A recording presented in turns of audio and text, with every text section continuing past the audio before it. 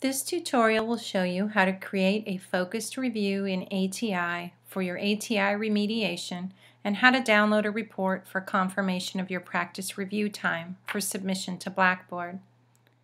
ATI recommends the use of Firefox web browser when visiting their website. So the first thing you'll need to do is open up Firefox. And you're going to come up here to the search bar and type student.atitesting.com That'll bring you here to the ATI sign-on page. From here, you will log into ATI using your username and password.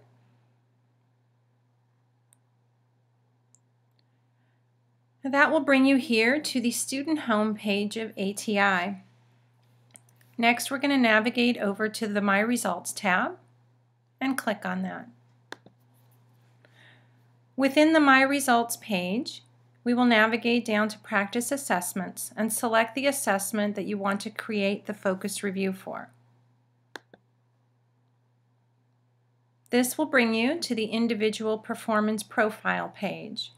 Now you have two options for creating or completing your ATI remediation. You can either do it offline or you can do it online.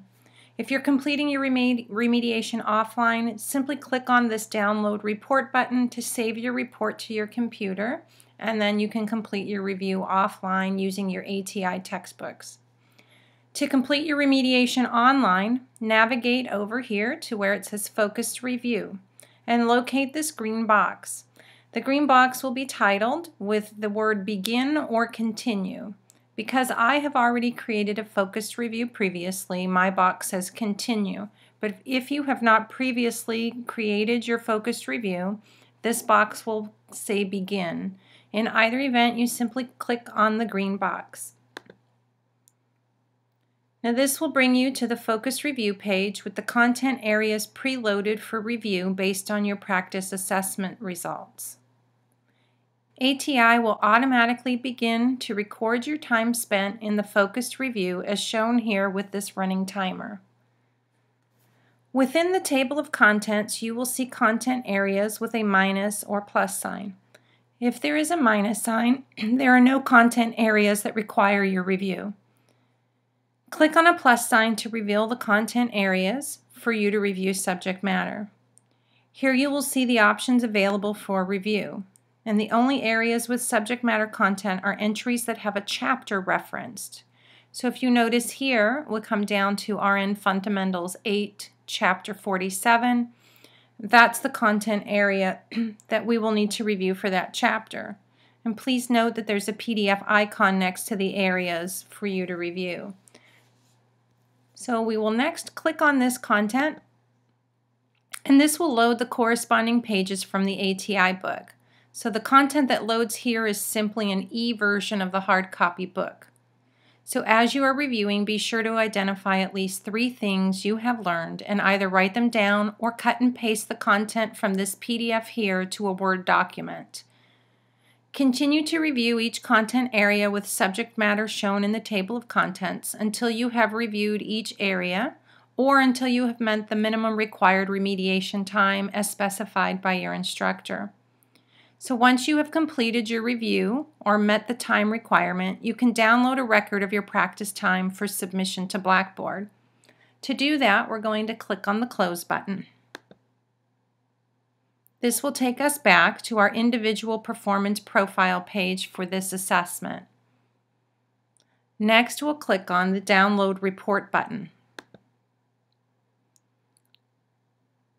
A pop-up box will appear we're going to click on Save File, if it's not already default to that, and you're going to click on the OK button.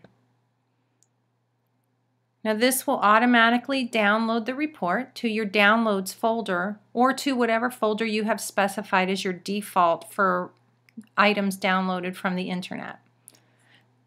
Navigate up here to this down arrow and you will see your report is here.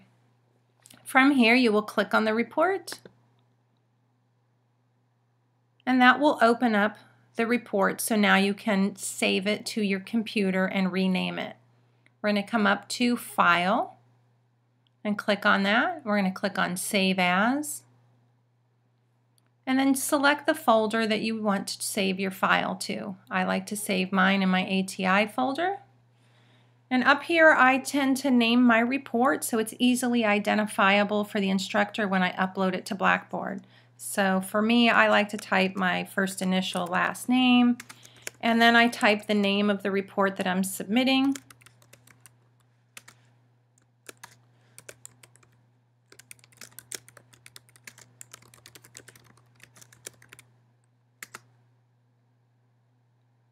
And then you click Save.